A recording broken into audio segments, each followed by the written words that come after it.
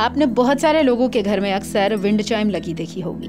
वो जो पतली पतली सी होती है और जब हवा आती है तो बजती है, एक बहुत ही ब्यूटीफुल सा म्यूज़िक क्रिएट करती है, उसे विंड चाइम कहते हैं। लेकिन क्या आप जानते हैं कि घर पर कहाँ और किस तरह से आपको ये विंड चाइम लटकानी है, इसके भी तरीके होते हैं? और फेंशुई नियम इस बारे में क्या कहते हैं? तो आज हम आपको यही बताएँगे, वैदिक टीवी में आप आखिर तक बने रहें। स्वागत है आपका, नमस्कार, मैं हूँ मेघा।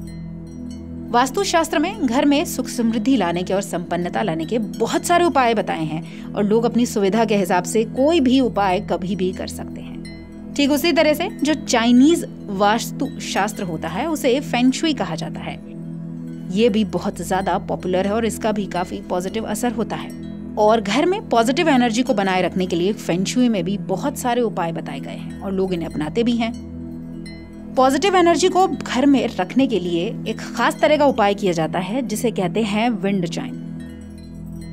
इसका फेंचुए में विशेष महत्व होता है और ऐसी मान्यता है कि जिस घर के बाहर या फिर बालकनी में विंड चाइम लगा होगा, वहाँ पर जो नकारात्मक चीज़ें हैं, वो घर में प्रवेश नहीं कर पाएँगी। इसे फेंचुए में बहुत ज़्यादा शुभ और भाग्यशाली माना जाता है। लेकिन फेंचुए में इसे लगाने के कुछ नियम भी बताए गए हैं। तो वो कौन से नियम हैं जो विंड चाइम लगाते वक्त आपको अपने ध्यान में रखने हैं? आइए वही जानते हैं। चीनी वास्तुशास्त्र की माने तो विंड चाइम कई तरह की होती है, जैसे लकड़ी, मेटल, मिट्टी या और भी किसी तरह की। लेकिन दिशा के तत्व, यानी दिशा का जो एलिमेंट होता है, उसके हिसाब से अगर आप लगाएँगे तो बहुत ज़्यादा फ़ायदेमंद रहेंगे।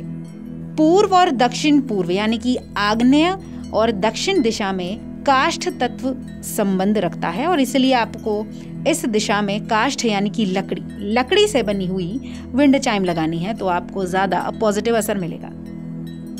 अगर धातु से बना विंड चाइम आपने खरीदा है तो आप उसे घर की पश्चिमी, उत्तर पश्चिम या फिर उत्तर दिशा में लगाएँ। ऐसा करने से घर में पॉजिटिव वातावरण बना रहेगा। दोस्तों, आपको यहाँ पर एक और बात बता दूँ कि विंड चाइम को हिंदी में पवन घंटी भी कहा जाता है, क्योंकि ये हवा से बजती है। अगर आपके पास लकड़ी, मिट्टी या फिर धातु से बनी विंड चाइम है तो इसे आप घर की दक्षिण पश्चिम दिशा में टांग सकते हैं। इससे आपके संबंधों में मजबूती आएगी। अगर आपको लगता है कि आपके घर का जो मेन गेट है, उसके पास कोई वास्तु दोष है तो आप उसके लिए चार छड़ी वाली विंड चाइम मैग्नेट पर लगाएँ, जिसमें चार छड़ियाँ होती हैं। ऐसी विंड चाइम भी आती हैं, वो आप मैग्नेट पर लगाएँ। अब अगर बात करूँ मैं स्टडी रूम की तो अगर स्टडी रूम में आपको लगता है कोई वास्तु दोष है तो वहाँ पर आप पाँच छड़ वाली विंड चाइम लगाएँ। इससे जो बच्चे हैं, उन्हें अपने हर क्षेत्र में सफलता मिलेगी और उनका पढ़ने में मन भी लगेगा। जो छह रोड वाली विंड चाइम होती है, उसे आप उस जगह पर लगाएँ जहाँ पर मेहमान आते हैं।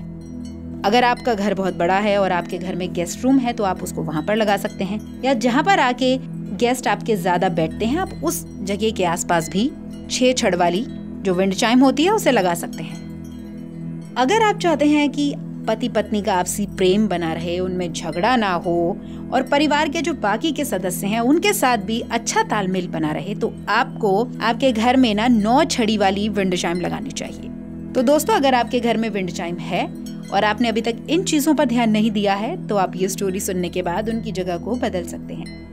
ये जानकारी विभिन्न आलेखों से इकट्ठी करके आप तक पहुंचाई गई है। चैनल इनकी सत्यता पर प्रकाश नहीं डालता। वैदिक टीवी में इतना ही। स्टोरी अच्छी लगी हो तो इसे शेयर करें और लाइक करें।